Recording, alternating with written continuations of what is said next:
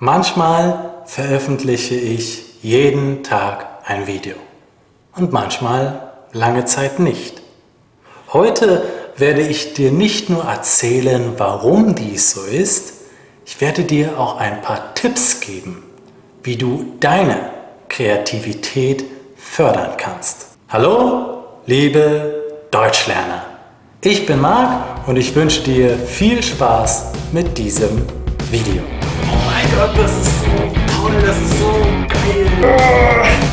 Ich glaube, es fühlt sich einfach richtig toll an hier. Im letzten Video habe ich dir all die Projekte vorgestellt, an denen ich arbeite. Manchmal bin ich sehr von einem Projekt begeistert und ich möchte dann nichts anderes machen, als an diesem einen Projekt zu arbeiten. Ich habe gelernt, dieser Anziehungskraft eines Projektes nicht zu widerstehen und meine Leidenschaft für ein Projekt zu nutzen, um es voranzutreiben. Wenn das bedeutet, dass ich keine Videos mehr erstelle, dann sei es so. Und ich möchte meinen Fluss nicht jedes Mal unterbrechen, wenn das passiert und irgendwie ankündigen, dass ich eine Pause mache. Ich mache einfach Videos, wann immer ich Lust habe, sie zu machen. Oder wenn ich denke, sie sind notwendig, um gewünschte Ergebnisse zu erzielen. Schließlich sind sie kostenlos und ich muss für mich leben. Wenn ich denken würde, ich müsste diese Videos für euch machen, würde ich einfach mit der Zeit verbittert werden. Ein Video zu erstellen dauert circa 10 Stunden. Und nur wenn ich es mit Leidenschaft und Kreativität mache, wird es ein gutes Video. Eine Person wollte, dass ich jede Pause ankündige als Bedingung dafür, dass er mir Geld spendet. Das kann ich nicht. So funktioniert meine Kreativität nicht. Ich kann nie wissen, wie lange ich Kreativität tanken muss. Außerdem mache ich nie wirklich eine Pause. Ich lade nur keine Videos hoch. Andere Projekte benötigen meine Aufmerksamkeit.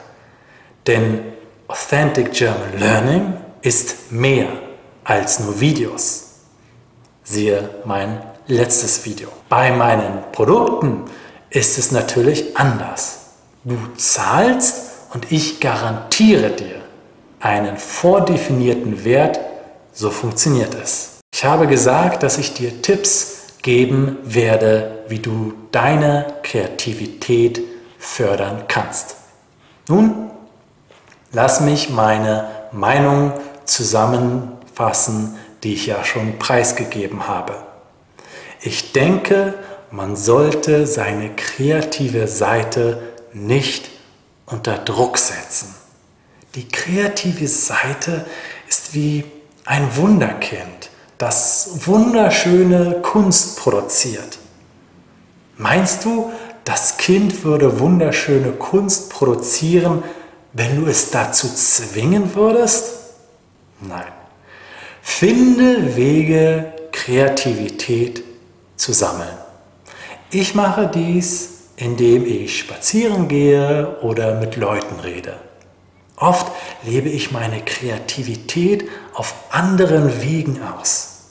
Wenn ich Videos mache, sammle ich zum Beispiel bewusst und unbewusst Ideen für meine Kurse und andersrum.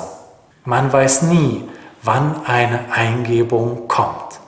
Deshalb rate ich, stets bereit zu sein, eine Idee aufzuschreiben und ein System zu haben, diese Ideen umzusetzen. Schließlich braucht man eine kleine Prise Disziplin.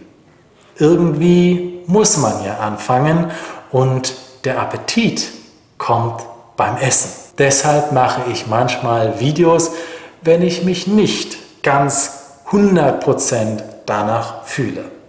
Hauptsache, ich bin zu 100% mit dem Resultat zufrieden. Das war mein Video über Kreativität. Was machst du, um Kreativität zu tanken? Ich bin gespannt auf deinen Kommentar. Tschüss und bis zum nächsten Mal. Möchtest du, dass ich weniger Pausen mache? Mit monatlichen Spenden kannst du sicherstellen, dass ich mehr Zeit damit verbringen kann, Deutschlern-Videos zu erstellen.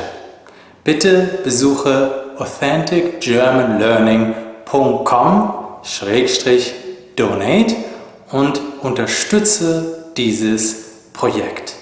Spenden helfen enorm.